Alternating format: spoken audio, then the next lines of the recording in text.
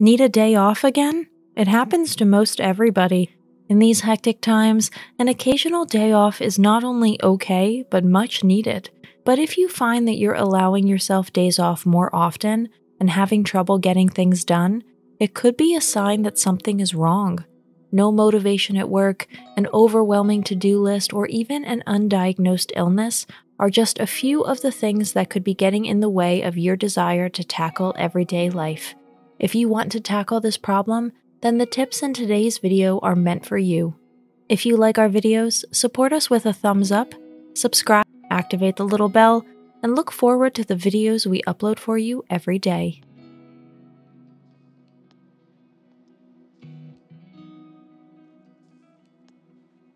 Number 1. Set realistic goals.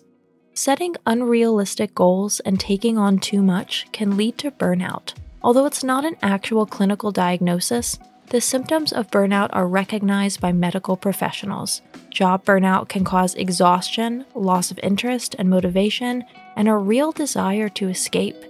This is serious stuff, and if you think you're well on your way to this status, bail out.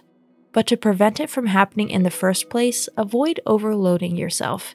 You can do this by setting yourself smaller, realistic milestones so that you are not overwhelmed by the first step. Not everything needs to be done in one day, and some things may not need to be done at all. Number two, don't be a perfectionist. Perfectionism is on the rise and it takes a psychological toll. A 2017 study that looked at college students between 1989 and 2016 found a rapid increase in perfectionism over the years. Researchers found that young people today face a more competitive environment, more unrealistic expectations, and more anxious and controlling parents than generations before. This increased perfectionism leads people to be overly critical of themselves and others. It has also led to an increase in depression and anxiety. If you can't be satisfied with an occasional suboptimal result once in a while, then you are most likely a perfectionist. This may sound great at first, because everything you do seems to be perfect. But at what price? Try to consciously tone down your goals to 80 to 90% of perfection. You will see that the world will not end. Number three, stick up for yourself. Self criticism can stifle all your efforts right from the beginning.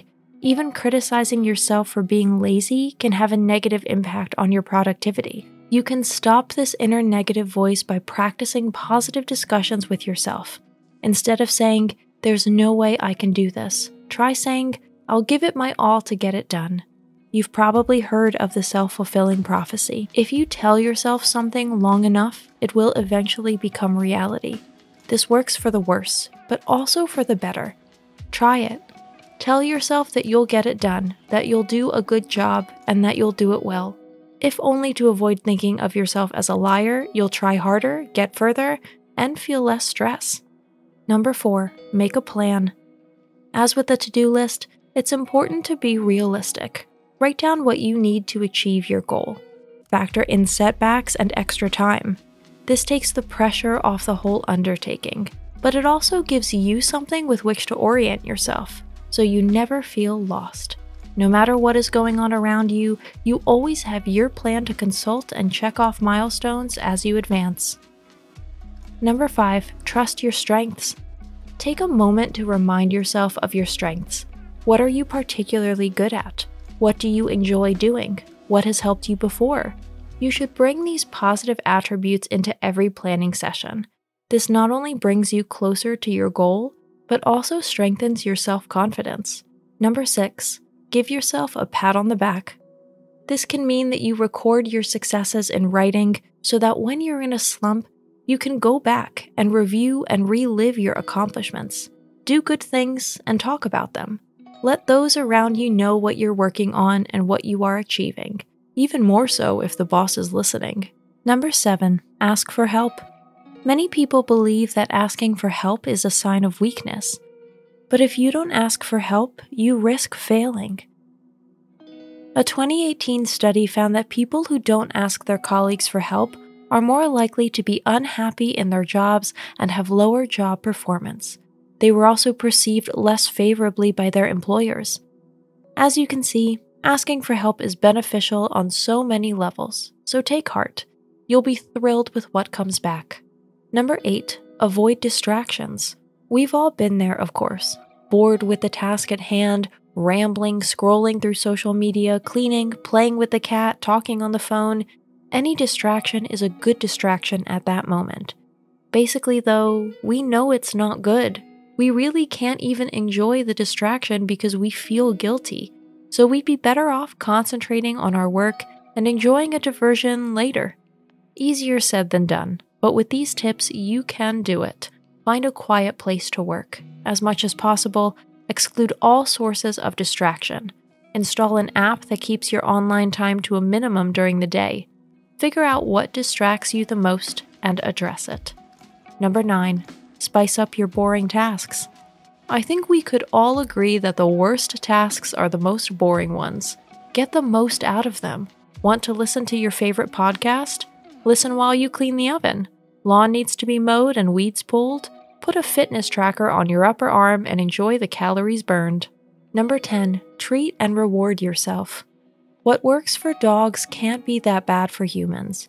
Work with rewards, whether that's a nice meal at your favorite Italian restaurant or a new pair of shoes after a day's work. Today's conclusion As you can see, there are a few things that can help you get out of your listless slump and take charge of things. You don't have to use all 10 tips. Sometimes, just one is enough to beat procrastination. Just figure out which ones make the most sense to you and try to remember them as often as possible. The more often you consciously follow these tips, the more they will enter your subconscious and become a habit. Then, at some point, it will become automatic second nature to you. That's it for today. Thanks for watching. Did you find this information helpful? Do you have experience with it? We would love to hear from you. Leave a comment below and let us know your thoughts. For more resources about mental health, self improvement, and psychology, visit our website. You'll find the link in the video description where you can also connect with us on social media and sign up for our email list. Take care of yourself and have a beautiful day.